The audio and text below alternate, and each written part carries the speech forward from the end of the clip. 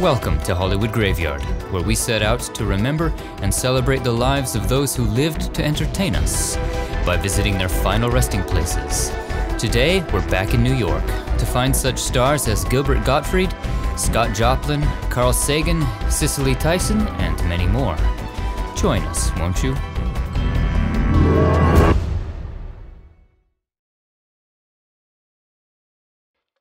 Welcome back to New York.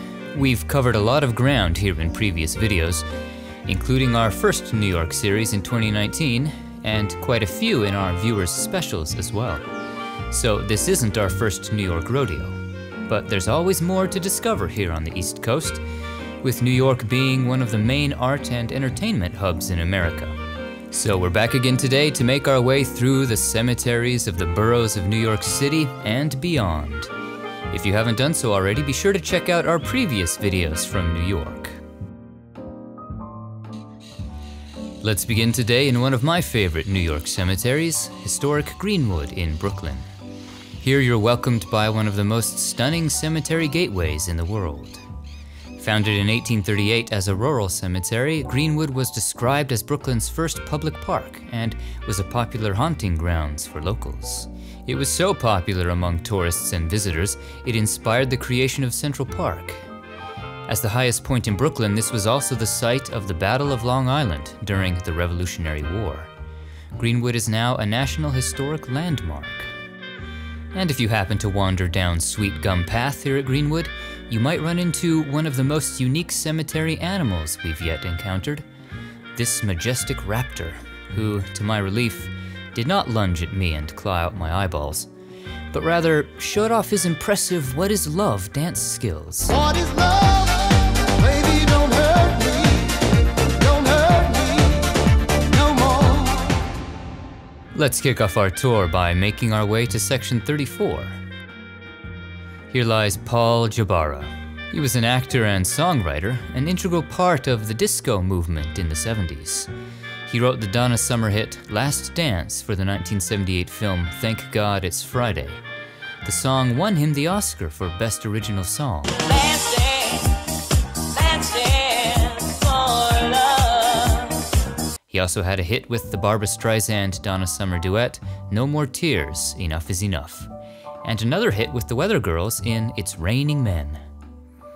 As an actor, Paul appeared in the original cast of Hair on Broadway and in the London production of Jesus Christ Superstar. And on film, you saw him in Thank God It's Friday and The Lords of Flatbush.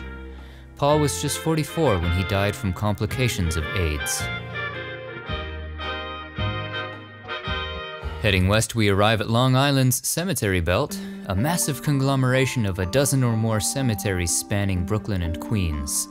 As large as a city, it's visible from space and hosts an estimated 5 million dead, more than the living population of Queens. The first cemetery we'll visit here is Mount Carmel, a Jewish cemetery. Here rests a man who shares a name with the cemetery in which he's buried, Roger Carmel. The mustachioed character actor had numerous memorable turns on television in the 60s to the 80s. You Star Trek fans will remember him for his role as the flamboyant con artist Harry Mudd. I don't believe it. Welcome aboard, Kirk. Been a long time, eh? Harry Mudd. Well, to be absolutely accurate, Laddie Buck, you should refer to me as Mudd the First. He also played Roger in The Mothers in Law and made appearances in other shows like Hawaii Five-O and The Munsters.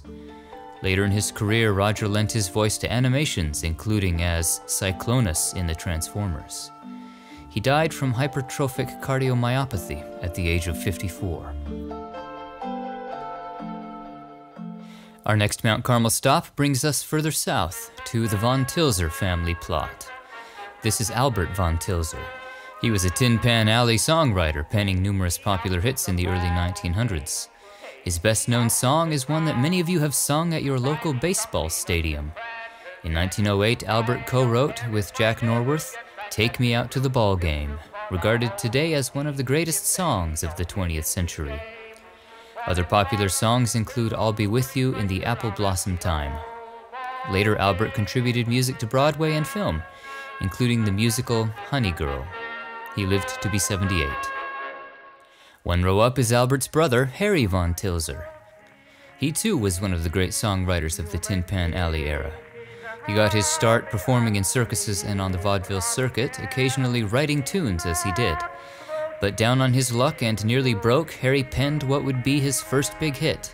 Ironically, on the back of his overdue rent bill. The song was 1898's My Old New Hampshire Home, which would go on to sell over a million copies, becoming the big hit of its day. He followed this up with another smash hit, A Bird in a Gilded Cage, in 1900. His success led him to forming his own publishing company, which his brother Harry joined. And like his brother, Albert would also pen music for Broadway, including the Ziegfeld Follies. Both Albert and Harry were inducted into the Songwriters Hall of Fame. Several sections east, we find the grave of Betty Comden. She was a songwriter and screenwriter whose musical comedy partnership with Adolph Green spanned six decades and earned her numerous accolades in Hollywood musicals and Broadway shows.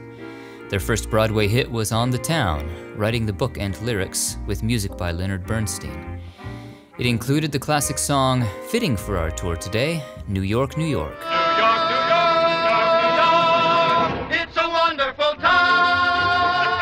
Comden and Green soon found their way to Hollywood, writing for the movies, including the film adaptation of On the Town.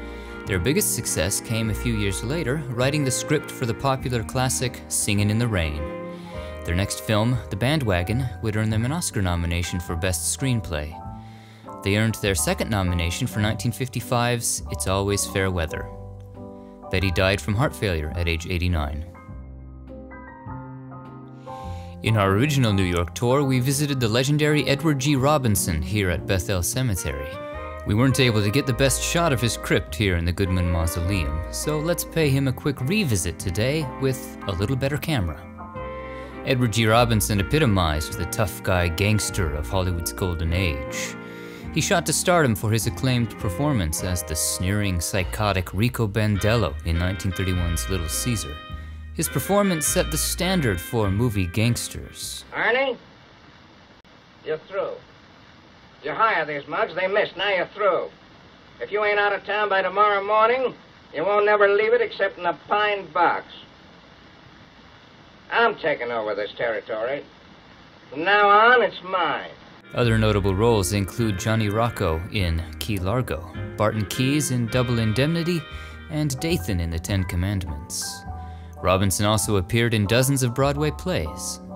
He died from cancer just weeks after finishing Soylent Green, and just months before receiving an Honorary Academy Award in 1973. Honored for achieving greatness as a player, a patron of the arts, and a dedicated citizen. In sum, a Renaissance man. His eulogy was delivered by Charlton Heston, and his pallbearers included George Burns and Frank Sinatra. Today, Edward G. Robinson ranks among the greatest male stars of classic cinema. Leaving the cemetery belt behind, we head northeast to Mount Hebron Cemetery. Here lies Jack Gilford. He was an actor of stage, film, and television who specialized in pantomime. Jack was nominated for several Tony Awards for supporting actor in shows like A Funny Thing Happened on the Way to the Forum and Cabaret. He would reprise his role in the film adaptation of A Funny Thing Happened on the Way to the Forum, and in 1974 he'd be nominated for an Oscar for his role in Save the Tiger. Other memorable films include Cocoon. And on television, he made appearances in shows like Soap, The Golden Girls, Night Court, and Taxi as Alex's father. Jack died from cancer at age 81. Doubling back west, we arrive at Mount Zion Cemetery in Queens. This is also a Jewish cemetery, and is perhaps the most densely packed cemetery I've ever been to. If New York City was a cemetery, this would be it. Standing in the middle, looking around in all directions, you're surrounded by a forest of headstones that disappear off into the horizon.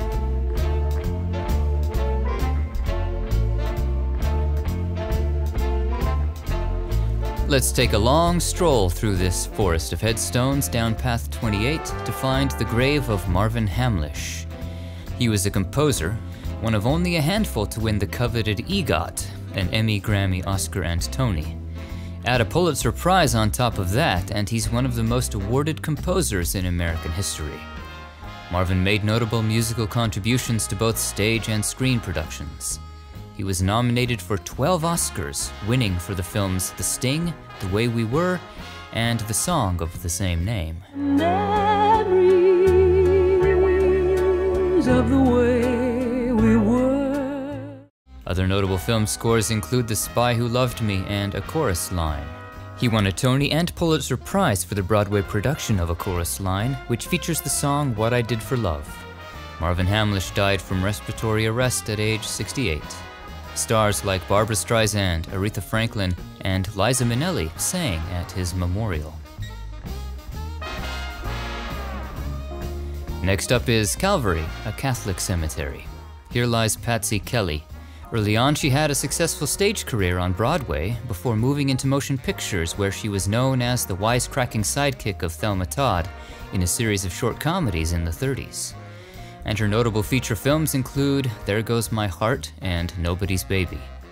Patsy Kelly was openly gay, highly unusual for that era when stars were generally forced to stay closeted or lose work.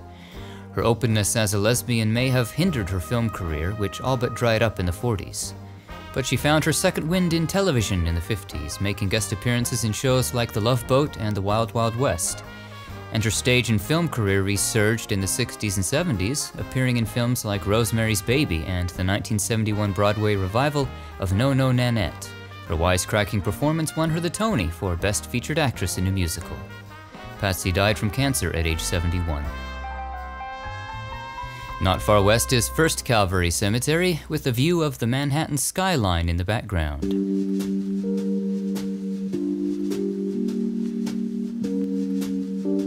This is the grave of Joe Spinell. The Italian character actor was known for playing tough and shady characters. Early in his career, he appeared as Willi Cicci in the Godfather films. And you fans of the Rocky films will remember him as the tough loan shark with a soft spot in his heart for Rocky, Tony Gazzo. So why don't you break his thumb like I told you to? When you don't do what I tell you to do, you make me look bad, Rock. I figure, look, I figure if I break the guy's thumb, he gets laid off, right? He can't make. Yeah, well, no don't figure. it. can't Let me do the figuring, okay, Rock? He's also remembered for his role in Taxi Driver. Later in his career, Joe found his niche as a leading man in B horror films, several of which have become cult classics, including The Maniac and The Undertaker. Joe died suddenly in his Queens apartment at the age of 52, though there doesn't seem to be a firm consensus on his cause of death. Some sources cite a heart attack or list complications from asthma. Joe also suffered from hemophilia. According to other sources, he had reportedly cut himself deeply on glass in his shower, and instead of calling for help, tried to dress the wound himself and fell asleep, eventually bleeding out. Our last Long Island stop is St. Michael's Cemetery here in Queens. This is the final resting place of the king of ragtime, Scott Joplin. If you took piano lessons when you were a young kid like I did, odds are one of the pieces you learned was The Entertainer, one of Scott Joplin's most notable pieces. Scott Joplin began writing and publishing music in the 1890s. His first big hit was Maple Leaf Rag, which you're listening to right now, and was a nationwide smash. It was published in 1899 and would set the standard for ragtime music in the early 20th century. And although ragtime became associated with honky tonk music in saloons, Joplin was actually heavily influenced by classical music, ballet, and opera. His passion later in life was to produce operas. His first opera was A Guest of Honor, which did not fare well and is considered lost. His second opera was Treemonisha, but Joplin was never able to get it staged in his life. By 1916, Joplin had developed syphilis. He was admitted to a sanitarium where he died at just 48. It wouldn't be until 1972 that Tree Treemonisha would have its full debut performance. It earned Scott Joplin a posthumous Pulitzer Prize for music. Joplin's death marked the end of the ragtime era as the music grew and morphed into what became jazz and swing. His music can be heard in countless film and television productions, including 1973's The Sting, which helped repopularize his music for a new generation.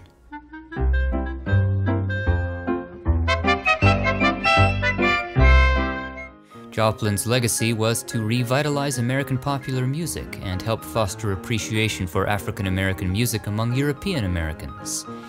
He was portrayed by Billy Dee Williams in the 1977 biopic Scott Joplin.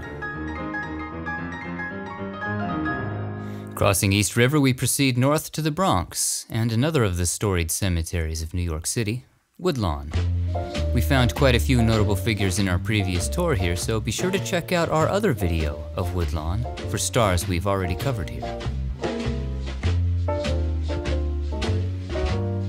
Beginning in Catalpa section, we find the grave of James Montgomery Flagg.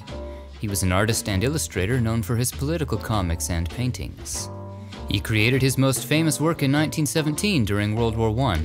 It was a poster to encourage recruitment in the army during the war. It was the famous I Want You poster featuring Uncle Sam. The poster would be reissued during World War II. He produced other patriotic posters and paintings and illustrated books, but none had the enduring character of his Uncle Sam poster. James lived to be 82. Proceeding south, we reach Prospect Plot and the tomb of Harry Carey. No, not the baseball sportscaster, the film actor. He appeared in more than 200 productions in his career, starting out in the silent era as one of Western cinema's superstars. He transitioned well into the talkies, earning an Academy Award nomination for his role as President of the Senate in Mr. Smith Goes to Washington. Harry continued performing into the late 40s before passing away at age 69. Not far southeast, in the same section as Irving Berlin, we find the approximate location of the unmarked grave of songwriter Johnny Marks. Christmas is right around the corner, so it's a perfect time to visit Johnny Marks, who specialized in Christmas songs. Perhaps his best known work is Rudolph the Red-Nosed Reindeer, which he put to music based on the poem by his brother-in-law, Robert May. The song debuted in 1949 and has since become a Christmas standard. Rudolph the red-nosed reindeer had a very shiny nose. Other holiday classics he wrote include Rockin' Around the Christmas Tree, Rocking around the Christmas tree at the Christmas party hop. A Holly Jolly Christmas, Have a holly jolly Christmas. It's the best time of the year. and Silver and Gold. Silver and gold, silver and gold. In 1981, Marks was inducted into the Songwriters Hall of Fame. He died from complications of diabetes at age 75. In the small gentian plot in the Welts Mausoleum lies actress Louise Henry. She appeared in 21 films in the 1930s. Among them are End of the Trail alongside Jack Holt, The Murder Man alongside Spencer Tracy, and Reckless alongside Jean Harlow. She retired from film in the late 30s but went on to open her own drama workshop in New York. She died from cancer at age 55. Up the hill to one of the newer developments in the cemetery, we find the niche of actress Diahann Carroll. She rose to prominence appearing in some of the early studio films featuring black casts like Carmen Jones and Porgy and Bess. In 1962, she won a Tony for her role in the Broadway musical No Strings, a first for an African American woman. She was also nominated for an Academy Award for her role in Claudine. And on television, she's remembered for her role as Dominique in Dynasty and her starring role in the 60s and 70s sitcom Julia, which is notable for being the first weekly series to star a black woman in a non stereotypical role. Diahann passed away from cancer at age 84.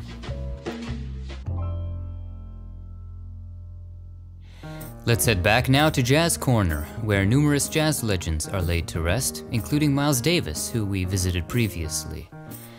Award winning actress Cicely Tyson was married to Miles Davis, and after her death in 2021, was reportedly laid to rest here with her husband. However, to date, there is no marker for her. Cicely Tyson was an actress known for playing strong African American women. Her career began on the New York stage in productions like The Blacks and Tiger, Tiger Burning Bright. Her breakout film role was as Rebecca in the 1972 film Sounder. Her performance earned her an Academy Award nomination for Best Actress. And on television, her portrayal of the title character in The Autobiography of Miss Jane Pittman won her two Emmy Awards. Other notable films include The Help and Fried Green Tomatoes, and she would return to the stage to win a Tony for the play The Trip to Bountiful. Her final performances on screen include a recurring role as Ophelia in How to Get Away with Murder. In 2019, Cicely was awarded an honorary Academy Award. She passed away in 2021 at the age of 96. Crossing the street west, let's head up the hill to find the distinctive grave of Jackie McLean. You may have deduced from his marker that Jackie was a jazz saxophonist. He began performing and recording in the 40s and 50s, including with Miles Davis. By the 60s, he began releasing his own albums of music, many of which are considered jazz classics. He also composed music, including for the play The Connection. He dedicated his later life to teaching, including founding the University of Hartford's African American Music Department, now named in his honor. Jackie died at age 74, and that same year was elected into the Downbeat Hall of Fame. A short walk west brings us to Norma Miller, known as the Queen of Swing. She was a professional Lindy Hop dancer who performed on stage and in film and television. She toured the world in the 30s and 40s, dancing with headliners like Ethel Waters, performing for the troops overseas, even doing her own comedy routines. She made appearances in shows like Sanford and Son and in films like Malcolm X. Norma was also a dance choreographer, earning an Emmy nomination for her choreography of Stompin' at the Savoy. On top of all this, Norma was also an accomplished songwriter. She lived to be 99. Back east a little ways is the grave of actress Clarice Taylor. You fans of The Cosby Show will remember her as Anna Huxtable, the mother of Cliff Huxtable. The role earned her an Emmy nomination. She's also remembered for playing Cousin Emma on Sanford and Son. On stage, Clarice played the Good Witch of the North in The Wiz, and on film she was Birdie in Play Misty for Me. Clarice died from heart failure at age 93. We've arrived now at Sassafras section. Herein we find the grave of Nora Bayes. She was a singer and vaudeville performer popular in the early 1900s. She is credited with co-writing the song Shine On Harvest Moon. Nora is perhaps best remembered today for introducing the George M. Cohan song Over There, a World War I patriotic song meant to galvanize the American troops. The music is featured right here on Nora's Stone. Over there, over there, send the word, send the word over there. That the Yanks are coming, the Yanks are coming, the drum, drum coming everywhere. Nora performed on stages across Europe and America, including in early Ziegfeld Follies. By 1910, she began making the first of her more than 160 recordings of popular songs.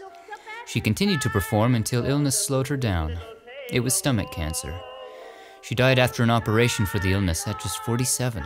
After her death, her husband refused to bury her until his own death, so she was housed in a receiving vault for some 18 years. After his death, they were both laid to rest here in unmarked graves. It wasn't until 2018 that fans and Nora's granddaughter arranged for this marker to be placed. A fictionalized biopic was made about her life, titled Shine On Harvest Moon.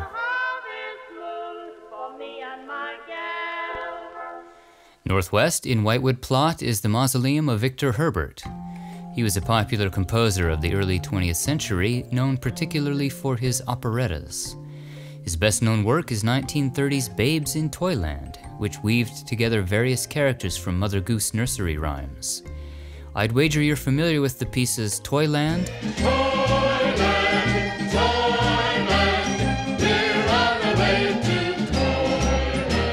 and March of the Toys.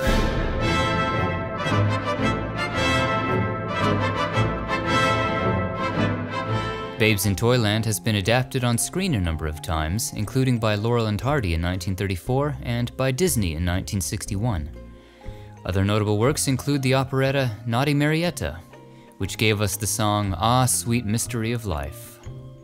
He also wrote incidental music for plays and numerous orchestral compositions. Victor died suddenly from a heart attack at age 65. Not far in from the main entrance is this distinctive Egyptian inspired mausoleum, belonging to Frank Winfield Woolworth. He was a businessman, the founder of the F.W. Woolworth Company, which operated a chain of convenience stores across the United States known as Five and Dimes, offering low priced merchandise. During his life, there were around a thousand Woolworth stores across the country, and Woolworth owned what was the tallest skyscraper in Manhattan at the time.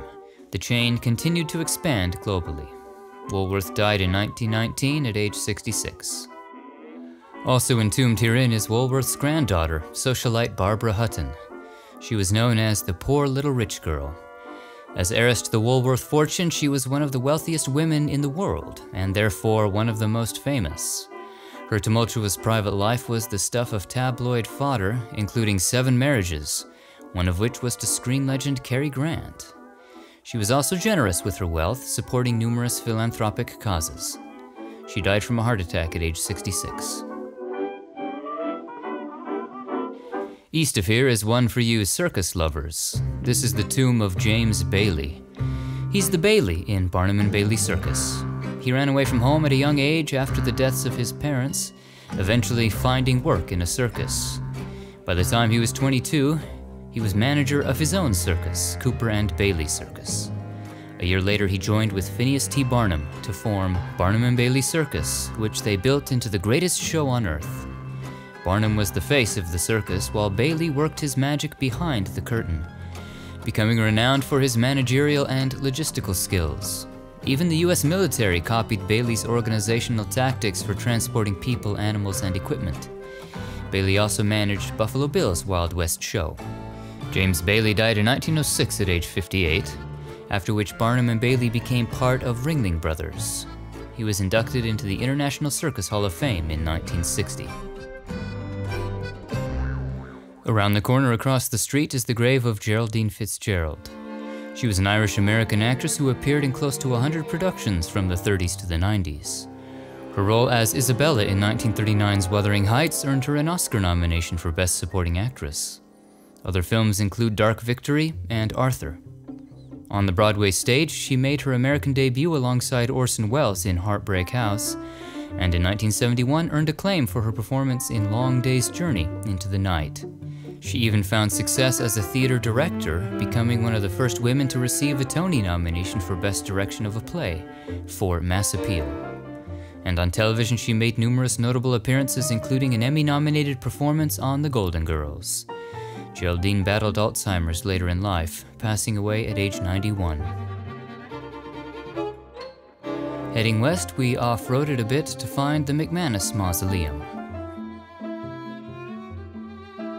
George McManus was a cartoonist, best remembered as the creator of the long running syndicated comic strip Bringing Up Father, featuring the characters Jiggs and Maggie. It ran for 87 years, from 1913 to 2000. Bringing Up Father would be adapted as an animated series in the silent era, in the very early days of animation. Two reel live action comedies would follow, and even feature films. McManus continued to produce the comic strip right up until his death in 1954.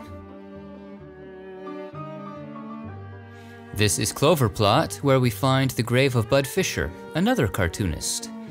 In 1907, he created what is generally regarded as the first successful daily comic strip in the United States, Mutt and Jeff. It remained in syndication until 1983. In 1911, Nestor Studios in New Jersey acquired the rights to make short films based on Mutt and Jeff, but Bud soon took on producing Mutt and Jeff short comedies himself. Throughout the silent era, hundreds of Mutt and Jeff shorts were produced. Bud Fisher died from cancer at age 69. Our last Woodlawn stop brings us to the community mausoleums near the chapel. Here is the niche of Barbara Britton.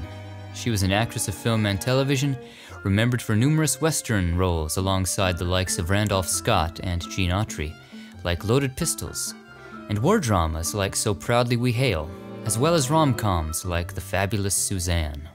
She also had a starring role on radio and television as amateur sleuth Pam North in Mr. and Mrs. North.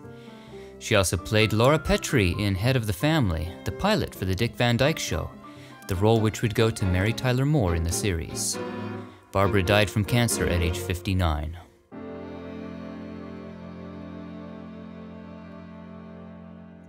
Heading out of New York City, we proceed north now to Westchester County and Kensico Cemetery. Another one we've previously visited, but we're back to unearth more stories in these grounds.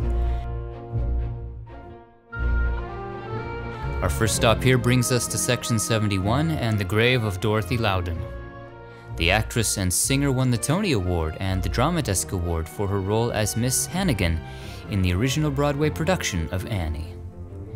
Other notable stage performances include Ballroom, which earned her another Tony Award nomination, and Sweeney Todd. While principally known as a stage actress, she did perform on television as well, including more than 30 appearances on Garry Moore's variety show, as well as a guest role on Murder, She Wrote. And her film roles include Midnight in the Garden of Good and Evil. Dorothy died from cancer at age 78.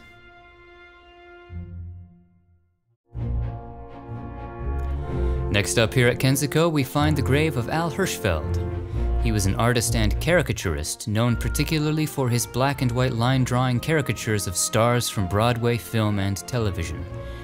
Al had an incredible knack for being able to capture the likeness and personality of stars with only a few simple black ink lines.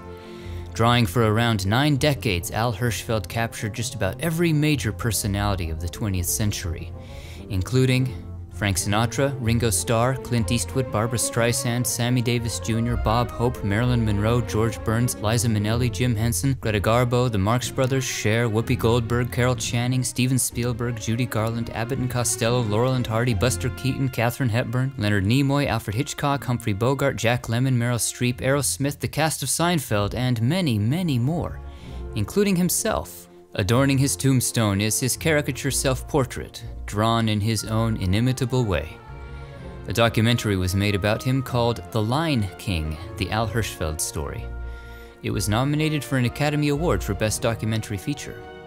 Hirschfeld also famously hid the name of his daughter Nina in every drawing made after her birth in 1945. His work is currently exhibited in a number of institutions, including the Metropolitan Museum of Art. Al lived to be 99. In our previous tour here, you'll recall our visit to the Actors Fund plot. Contrary to common perception, most actors and entertainers aren't super wealthy. Only the very top tier are. And back in the day, there was no such thing as residuals and royalties.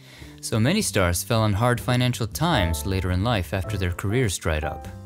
So, to help out these beloved entertainers in their latter years, funds have been created. The Actors Fund of America helps cover funeral expenses for actors of stage and screen, many of which are laid to rest in this plot. Let's meet a few more folks here. Florence Reed began performing on stage in the early 1900s, playing roles like Dulcinea in Don Quixote and Ophelia in Hamlet. She'd become one of the grand dames of the Broadway theater in plays like The Shanghai Gesture and The Yellow Ticket. Florence began appearing in films during the silent era around 1915. Her best known film role was her first talkie, playing Miss Havisham in Great Expectations. She rounded out her career making appearances in very early television. Florence lived to be 84. Florence's neighbor here is Blanche Yurka, who was also her friend when they were alive. Blanche was an opera singer and actress. She had minor roles at the Metropolitan Opera before making her Broadway debut in 1907.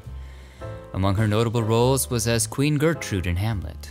She also earned high praise for her roles in the various plays of Ibsen.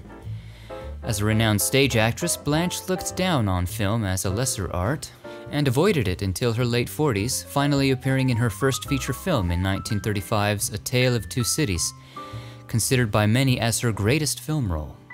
Other films include The Song of Bernadette and Cry of the Werewolf. Like her friend Florence, she too rounded out her career making appearances on early television, including Kraft Theater. She lived to be 87. A few rows away is Vivian Blaine. She's best remembered for originating the role of Miss Adelaide in the stage production of Guys and Dolls, and reprising her role in the subsequent film version in 1955. In other words, just from wondering whether the wedding is on or off, a person can develop a core.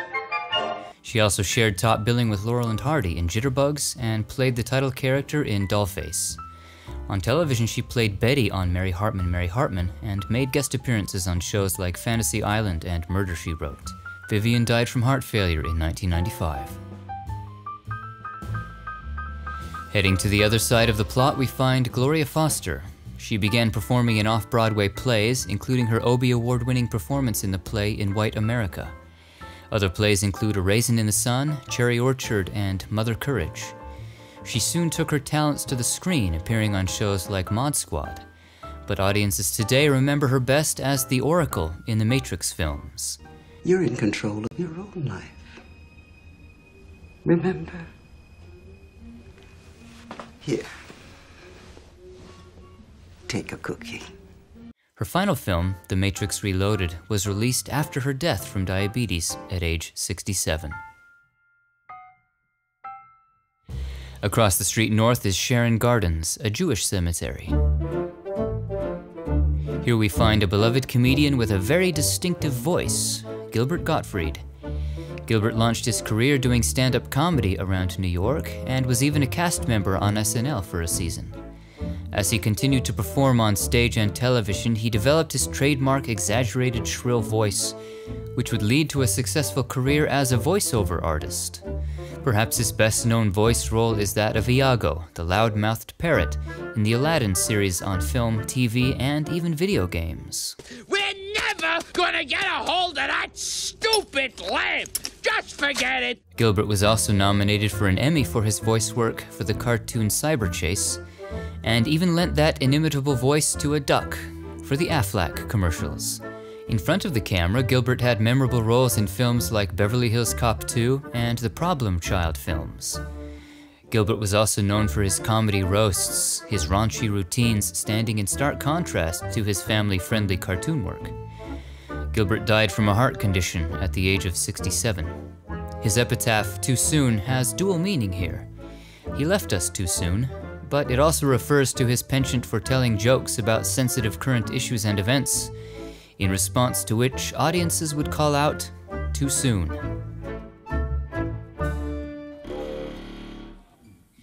New York isn't just the city and surrounding areas. New York, the state, is a big place, and there are famous graves all over it. Like Lucille Ball way out west in Jamestown, who we featured in our viewers special, and Rod Serling in the Finger Lakes area, who we featured in our Twilight Zone special. Let's wrap up our time today by hitting the scenic roads outside of the big city to find a few more famous graves. Ah, the simple pleasures of visiting New York cemeteries in autumn, when the air is cool and crisp, the sun low on the horizon shining through the leaves of the trees as they change color and fall to the ground. I won't lie, I was tempted to jump into this pile of leaves. Or maybe I did, but there's no video evidence one way or the other. This is the city of Auburn and Fort Hill Cemetery. Here in these beautiful grounds, we find one of the great social reformers in American history, Harriet Tubman. She was born into slavery in the early 1800s, suffering greatly as a child under the hands of her enslavers. In 1849, Harriet escaped north to Pennsylvania by way of the Underground Railroad, an informal network of routes and resources to help enslaved people escape to freedom. In the years that followed, she would return south numerous times to help her family members and friends escape to freedom through the Underground Railroad. By the outbreak of the Civil War, Harriet had succeeded in rescuing some 70 slaves. In all her expeditions, she never once was caught or lost a passenger. She became known as the Moses of her people. During the Civil War, she worked for the Union Army as a cook and nurse, then as a scout and spy, helping to liberate even more enslaved people. She continued to be active in social causes, including women's suffrage, until she passed away around the age of 90. Since her death, Harriet Tubman has been commemorated in art, literature, music, on film, on stamps, in parks, and efforts are currently underway to have Harriet replace Andrew Jackson on the $20 bill. All reminders of a strong woman who has become a symbol of courage and freedom in the face of unspeakable horrors and inhumanity. Her gravestone was erected by the Empire State Federation of Women's Clubs in 1937. And finally, we turn the compass south to Ithaca, New York, and Lakeview Cemetery. Here lies a man who helped us all understand our place in the universe and our connection to it Carl Sagan. In the 1980s, Carl Sagan helped instill in a young Arthur a curious and inquisitive mind. Perhaps he did so for you as well in his science program, Cosmos. Carl Sagan was an astronomer, author, and educator. He became the world's greatest popularizer of science in the television era, making it more accessible to the general public. In 1980, he debuted the 13 part television series Cosmos A Personal Voyage, which he hosted and co wrote with his wife Ann Druyan. It was PBS's most popular series for an entire decade. The series won two Emmys and a Peabody Award and has been seen by over 500 million people in some 60 countries.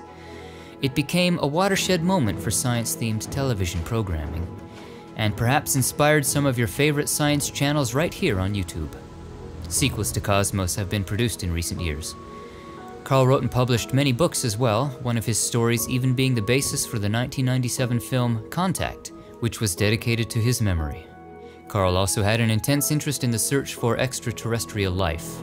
In 1977, he assembled the first physical messages sent into outer space on spacecraft, the Voyager Golden Records, which contains sounds and images from Earth, including music and voice messages.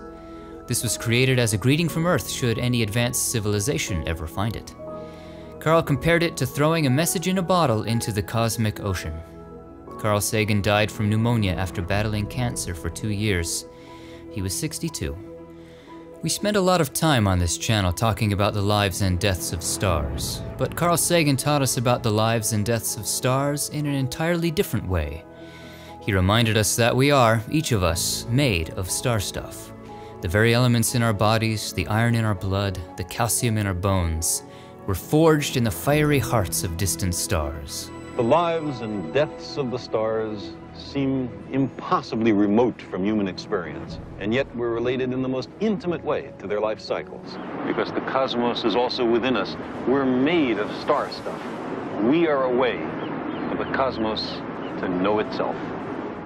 So, famous or not, me and you, we are all, each and every one of us, stars. Remember that next time you look up at the Milky Way or feel the warmth of the sun on your face on a clear autumn afternoon.